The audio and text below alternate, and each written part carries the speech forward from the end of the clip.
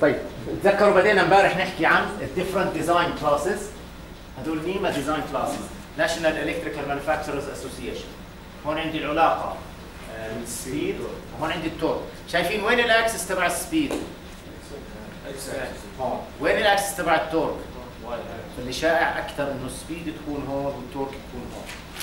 بتشوفوا بعض كتب تفتحها بتلاقي ال speed هون وال torque هون. هذا مضلل للطالب فالأحسن إحنا نمسك convention ونضل ماشيين على نفس ال convention فعادة ال convention رح تكون هاي هاي هي percentage of synchronous speed فكأنه slip هون zero ال slip هون واحد.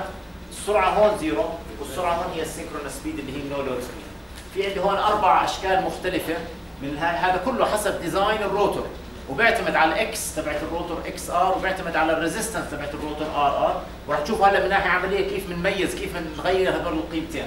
R بغيرها بتغيير ال conductivity الأسلاك وال conductance تبعتهم. لكن X بغيرها قديش ببعد ال conductor في داخل ال rotor عن ال stator. فعندنا class A بتلاحظوا class A is the most efficient لأنه له أقل slip at rated فلو رسمنا الآن خط من هون راح تشوف على ال rated torque مثلا راح تشوفوا إنه class D بيكون the least efficient و class A بيكون the most efficient وله أقل slip A له أقل slip عشان باطل على دور نعم. class A عشان باطل على دور مش فاهم. class A عشان بيعطي أعلى torque class A لا بعط- بعطيش أعلى torque بعطي best efficiency class D اللي بعطي أعلى torque starting torque مزبوط هلا هون انت اذا بدك rated ال torque افرض بدي rated ال torque مثلا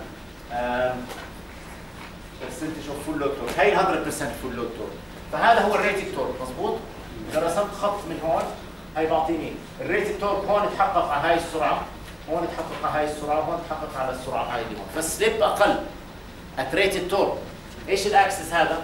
100% of rated torque يعني هذا ال axis مساوي ل rated torque ليش حطيناه هون ك percentage وهون ك percentage وما حطيناهوش actual values إيش هاي العملية اسمها؟ وين عويس normalization فعم نعمل عملية normalization حتى أقدر أقارن بين محركات مختلفة. فما بحط axis هون في أرقام ولا axis هون في أرقام بحطه ك percentage و percentage فبصير ينطبق على أي machine بتلاحظوا class A له أقل rated slip بس أقل starting torque ف starting torque تبع A قديش بالنسبة لل rated torque تقريبا 1.8 مزبوط؟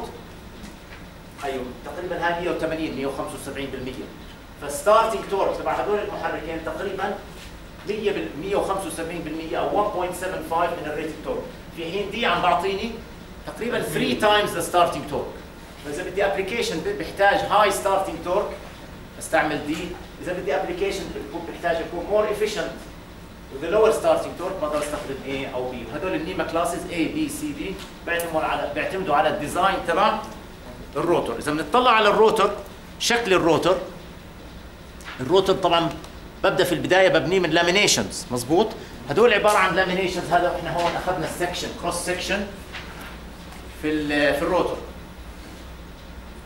وهي هون إذا بتطلعوا هي ال ferromagnetic material وهي ال laminations هيك راح يجوا ال laminations فأنا كأني عم بروح على على المشغل وبقص عدد كبير من ال laminations ولزقهم بعض بعطيني ال- ال laminations تبعت ال ferromagnetic ال electromagnetic circuit هلأ بتلاحظوا شغلة كمان هون.